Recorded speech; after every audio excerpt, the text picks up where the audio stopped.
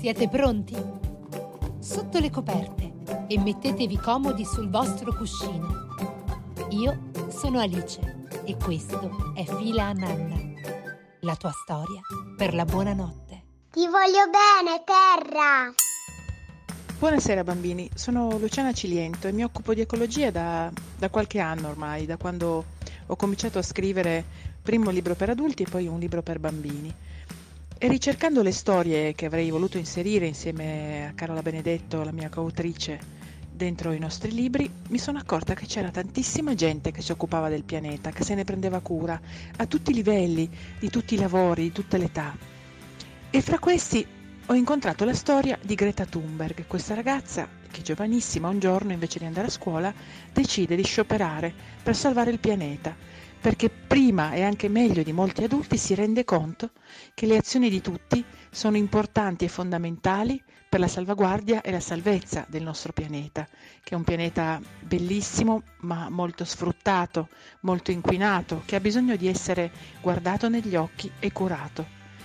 E quindi ecco a voi porgo la storia di Greta Thunberg e vi dico come lei non si è mai troppo piccoli per fare qualcosa di buono per salvare il nostro pianeta.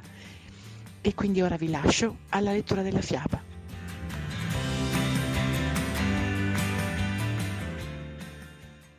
Quella che sto per raccontarvi non è una fiaba, ma una storia vera che parla di una bambina coraggiosa. Piccola storia di Greta Thunberg di Carola Benedetto e Luciana Ciliento.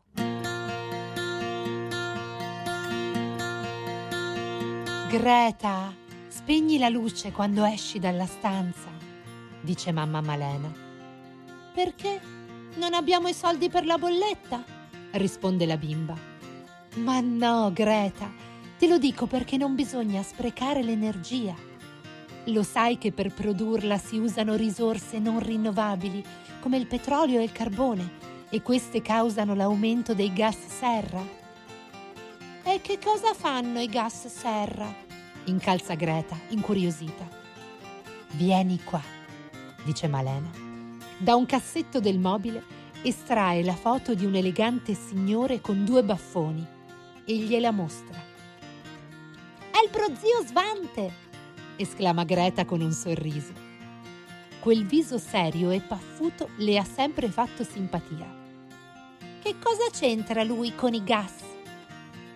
La mamma le racconta che Svante Arrhenius è stato il primo scienziato all'inizio del secolo scorso a mettere in relazione l'incremento delle emissioni di gas serra con l'aumento della temperatura terrestre. Poi precisa. Bruciando combustibili fossili si immettono nell'atmosfera terrestre grandi quantità di gas serra. Questi trattengono i raggi del Sole e fanno alzare la temperatura del pianeta. È il fenomeno del surriscaldamento globale. Quel pomeriggio Greta, che ha solo sei anni, inizia a capirci qualcosa, ma al contempo in casa Thunberg finisce la pace. Ad ogni occasione piovono domande, soprattutto su papà, Svante, che porta lo stesso nome dell'antenato scienziato. Intanto la foto del prozio troneggia in camera della bambina, sopra il letto, come se potesse rispondere anche lui. Con tutto quello che legge, a otto anni Greta ha già le idee chiare su come il clima del pianeta stia cambiando. Quando la maestra annuncia che in classe vedranno un documentario sull'argomento, la bimba si prepara a prestare la massima attenzione. La voce narrante spiega che c'è plastica ovunque, sulla terra e nell'acqua, perfino negli stomaci degli animali, che la ingeriscono scambiandola per cibo. A causa dell'innalzamento delle temperature, inoltre, aumentano le zone di siccità e si riducono i ghiacciai. Per ultime scorrono le immagini di un orso polare smagrito e affamato che si aggira fra un iceberg e l'altro. Sono le persone con le loro azioni a determinare i cambiamenti climatici, commenta la maestra, e a Greta si stringe la gola. Ma com'è possibile fare del male a qualcuno consapevolmente? si domanda angosciata, mentre le lacrime iniziano a rigarle le guance. È molto turbata.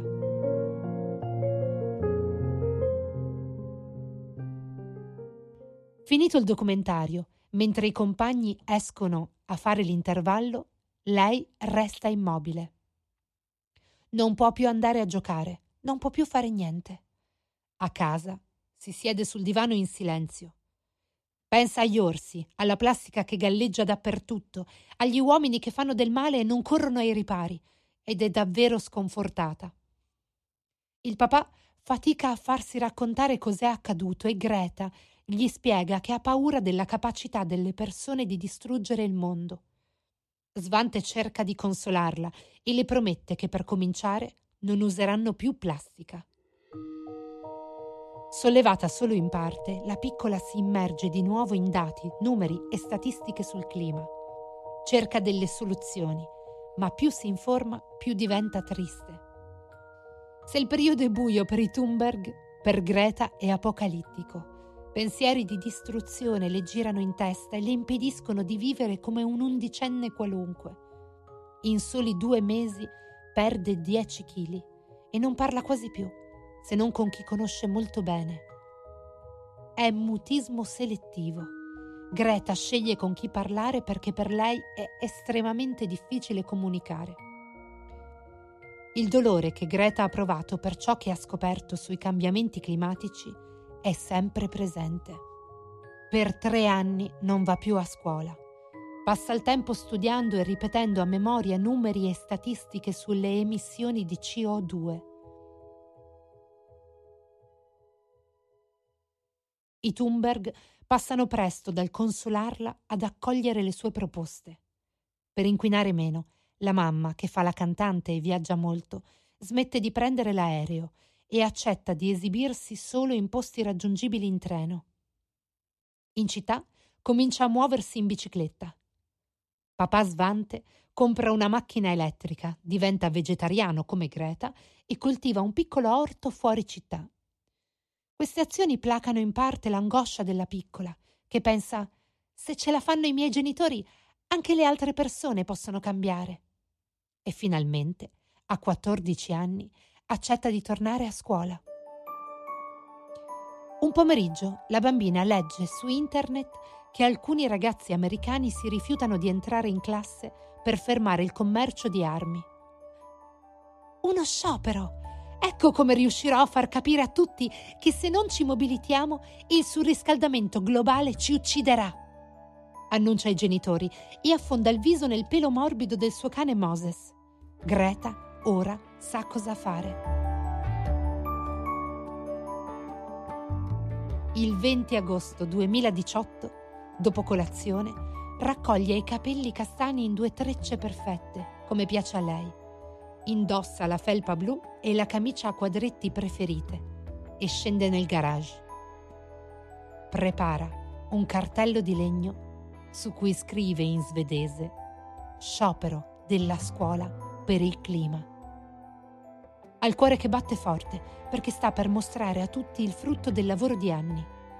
Raggiunge il Parlamento in bici e si siede per terra con il cartello sulle ginocchia. Greta ha deciso che sciopererà fino a quando si terranno le nuove elezioni. Il primo giorno è sola. Il secondo giorno alcuni ragazzi si fermano, incuriositi, e già dal terzo, davanti al palazzo, si forma un piccolo gruppo pacifico. Dal sesto, la protesta è sui social e in tutto il mondo e si sparge nelle altre città svedesi.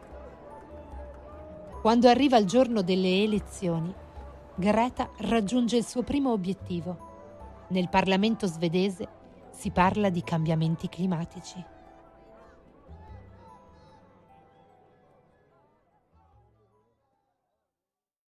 L'8 settembre 2018 si tiene in tutto il mondo la Marcia per il Clima e gli organizzatori di Stoccolma chiedono a Greta di condividere la sua esperienza parlando alla folla.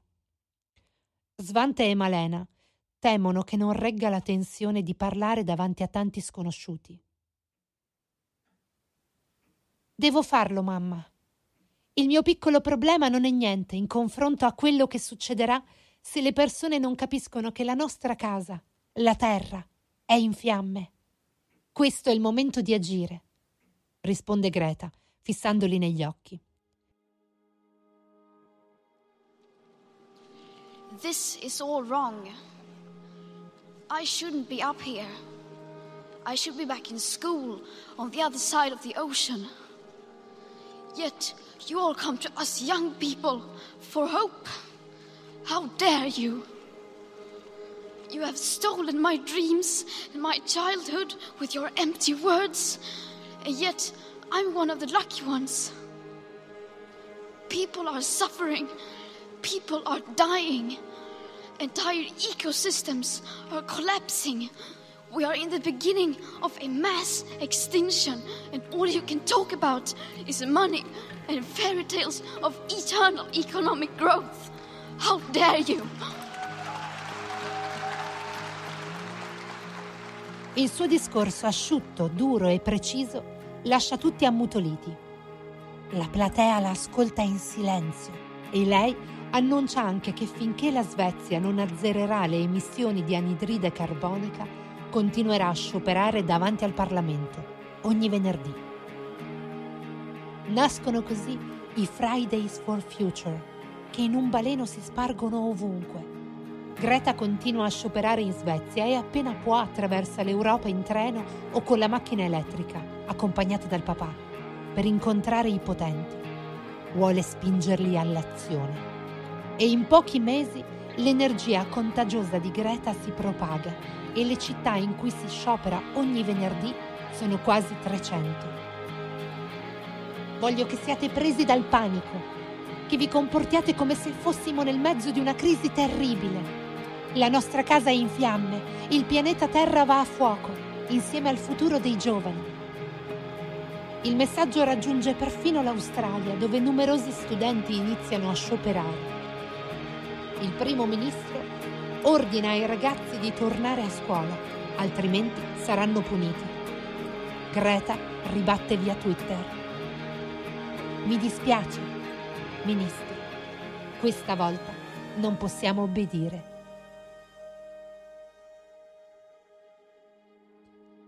A febbraio Greta è a Bruxelles a parlare davanti al Comitato Economico Europeo. Voi sostenete che saremo noi giovani a salvare il mondo. Non è così. Noi non ne avremo il tempo. Non parlate con noi, visto che non volete, ma ascoltate gli scienziati che da decenni vi dicono cosa fare per risolvere il problema del surriscaldamento globale. Poi esce e si unisce alla marcia per il clima organizzata in città. I suoi sforzi iniziano a dare frutti straordinari. Il 15 marzo 2019, in oltre 2000 città e 125 nazioni in tutto il mondo, si tiene il Global Strike for the Future. Un milione e mezzo di studenti marciano pacificamente per difendere il pianeta, dando vita alla più grande azione globale per il clima mai vista. Sono orgoglioso di te, le dice il papà. E lo sarebbe anche il prozio Svante. Hai cambiato la nostra vita e ora sei di ispirazione per un'intera generazione. Non devi smettere. Greta lo abbraccia. Non ne ho nessuna intenzione, papà. Aiutami a preparare un nuovo cartello.